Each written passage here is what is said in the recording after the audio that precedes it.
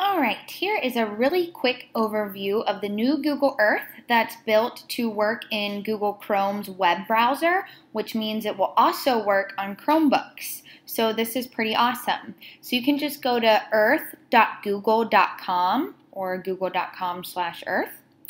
And then when we're here, I'll just hit launch Google Earth. And I'm just gonna highlight a couple of things for you. Here we are, and we're looking at the Earth from outer space. So to find a place that you're looking for, you just come over here to the left and hit the magnifying glass. Um, and from here, you can type anything that you want. So this is always my go-to just because I'm dying to uh, leave the country and see some major landmarks. So here we are looking at the Eiffel Tower. And if I want to look at more information about this, I can click this little card that has come over here to the right. And it'll open up more information about uh, the Eiffel Tower or whatever this landmark is um, that I'm looking for here. I can hit my back button. And then I can save it to my bookmarks. Uh, so that it's saved over here. Um, if it's a location that I want to get back to later, now it's saved in my bookmarks. So I'll go back and hit done. Um, and then here are my groups of um, bookmarks or essentially my other KMZ or KML files that I have imported.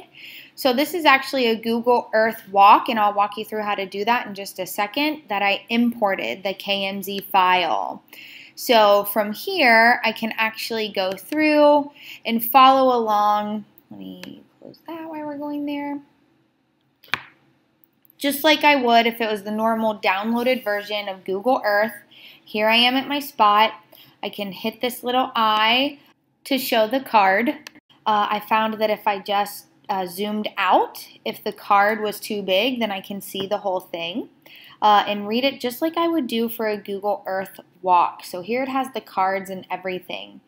I have not figured out if you're going to create your own how to add these little cards um, with pictures and information yet. So all I uh, have been able to figure out how to do is if you're trying to have students walk through a place um, would be to put it as a set of bookmarks, export that as a KMZ file, and then you can re-import it uh, as its own separate little tour here.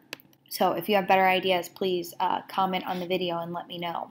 Um, all right, so then over here we have uh, the Voyager. This is pretty cool.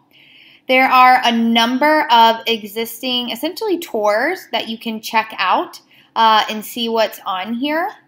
Um, oh, that looks pretty cool uh, with the great white shark there. Uh, there was one about museums where you can actually go inside of the museums using Street View technology. So some pretty cool things to check out that are already built.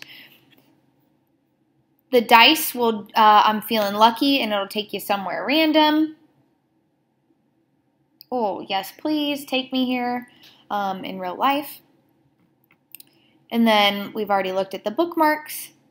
One thing, now I'll show you how you can import an existing uh, KML or KMZ file.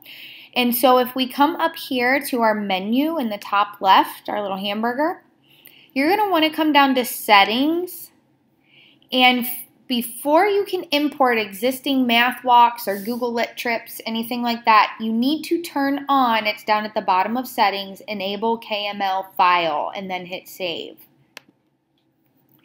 So here's an example. A lot of people know of Google Lit trips. Uh, so obviously Google Earth, uh, it's very clear where there's a place for Google something like Google Earth and social studies and ELA um, with things like Google Lit trips.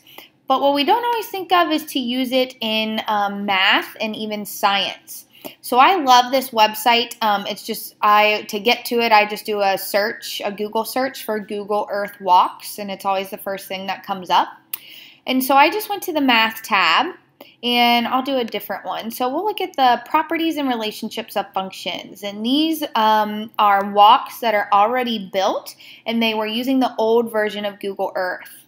Uh, but as you already saw, we can import them to still use them in the new Google Earth in uh, Chrome's web browser. So I'll just say download this walk. It's downloaded. Then I can come back over here to Google Earth And I'll come to my bookmarks. And right here I can say import KML file. So I'm just going to say open file. And let's see, it's this one.